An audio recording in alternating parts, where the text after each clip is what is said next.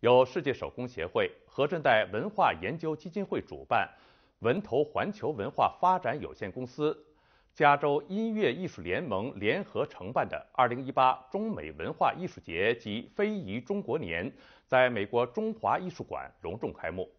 本次展览以中华传统文化传承与创新为主题，展示了来自中国手工艺术家们制作的精美作品。展出内容包括国家级非物质文化遗产皮影戏代表性传承人王天稳大师制作的皮影莲叶船，国家级非物质文化遗产曹氏风筝第四代传承人张磊大师制作的风筝沙燕和金蝉。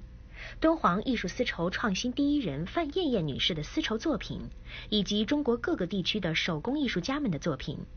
本次活动的主办方世界手工协会秉承着坚持创新、传承艺术精华的宗旨，为增强各国之间友好文化交流、对接与合作，协会在弘扬中华民族文化精髓的同时，更为世界手工艺爱好者创造了一个更好的国际舞台。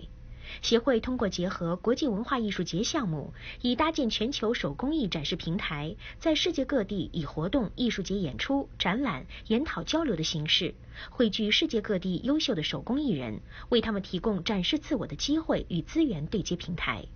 我们今后呢还会不定期的在这里举办呃峰会、论坛，呃或者是展览，包括一些呃一些手工的一些匠人的。互互相的交流，呃，那今后呢，我们可能还会在这里设立非遗的中国非遗的博物馆、非遗的艺术中心。我们很期待洛杉矶当地的同仁们和我们一起，我们共同把中国的传传统文化带到洛杉矶、带到加州、带到全美。我们在海外，我们希望能够通过我们这个平台做中国传统文化的推广者和继承者，为我们海外的。民众服务，同时呢，促进中美友好的关系的顺利的向下发展。这次文化艺术节也是文投环球国际文化艺术节和文投环球国际文化会客厅的重要活动之一。这次中美文化艺术节活动将持续到十一月八日结束。城市电视台记者洛杉矶采访报道。